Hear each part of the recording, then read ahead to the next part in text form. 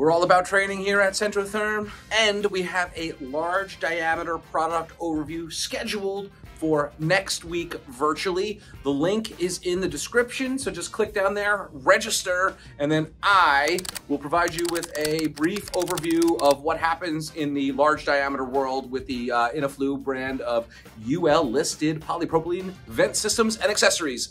Click down, register, and uh, hang out with me for a few minutes on Wednesday, June 21st, and uh, learn a little bit about large diameter InnoFlue.